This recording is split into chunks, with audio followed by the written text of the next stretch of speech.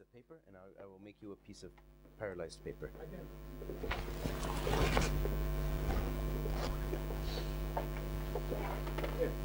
Thank you.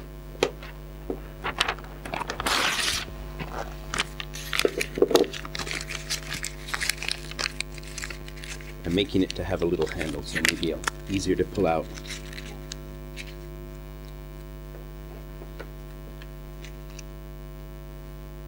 So, see again.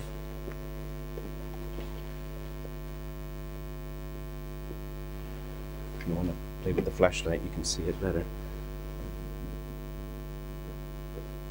So what we're seeing is the paper doesn't burn, it just goes black. And The gas is Now you can see that thing that looks like fog coming off of them. Those are actually the gases being mm. released, and you can see them going down. I'm just looking at the other leaves and stuff like that.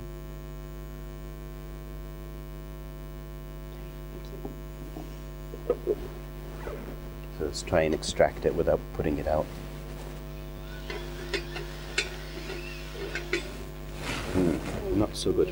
Why don't we do this? I'm going to make some smoke, and I'm going to take off the cap. Maybe that one. So. I've burnt my hands so many times I don't mind. I don't want to burn your hands though.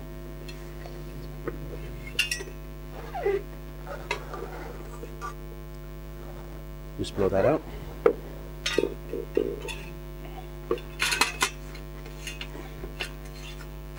Oops.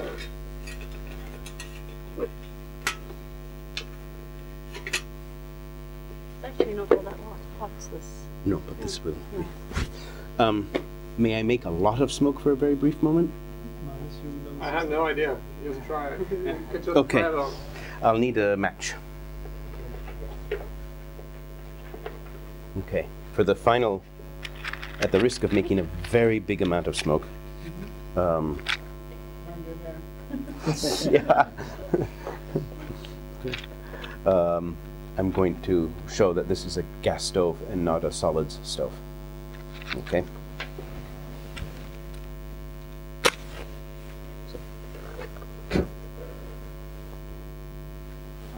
Wow. Wow. So, gas flame. And, and that way you know that it's a gas stove. right So basically, if you if we just put it out, then we could pick, up Yep, but it'll make lots of smoke while it's doing that. But you could definitely pick it up then. because uh, you mean so so when Because we- because what, what when, happens, when you take the cap off, that's well, when you take the cap off, yeah once the flame's gone, yeah the problem is, is the stuff that's pyrolyzed, oxygen will get to it. yeah. It's it very hot, starts- and it's it so starts it'll ash. start to burn. Yeah, But you can stop that if you allow it to pyrolyze all the way down, let the stove cool, Yeah, and then so you just you cap just leave it. yeah. Right, put a cap, Cap on it, and leave it. leave it. Once it's cool, take it up, and it won't be hot enough to then ignite, and you're done. Because I need to know these things. Okay. All right. So, um, let's see how much fuel we've used, and whether or not it's more or less than this. Because now we've gone enough to have burnt this in a wood stove. Yeah. Yeah, yes. And also so easily that it's ignited. Yeah. Yeah. Well, if, also think about. Um, I mean, saving fuel is important. Saving health is important. Creating jobs is important. But time. If if if it takes six hours or three hours to cook my soup, if I just put the pot there and don't have to touch it again for three hours, I've given somebody three hours. I would like three hours. Um, so let's just take it apart.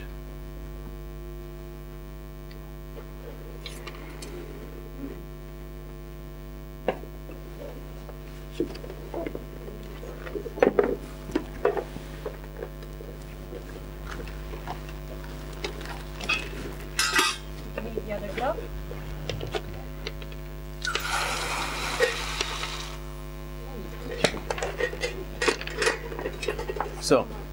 How much? How much did we use? Just go dig. I mean, do we have a tray we can pour it out on? Yeah. Is that a cookie tray?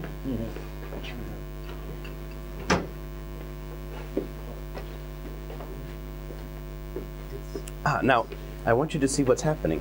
What's happening to the pellets? They're dissolving. And what's happening to the biochar? So it's staying the same. dissolving, you're right. It's all Right. very And the importance, the importance there is the biochar is very, very stable. Nej, men don't drop again. Right. Let's see if we can find some biochar in the bottom. But Maybe we could pour out some of this.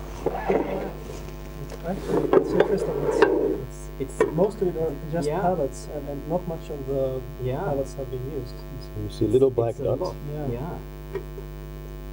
So is it necessary to, you build it almost all the way up?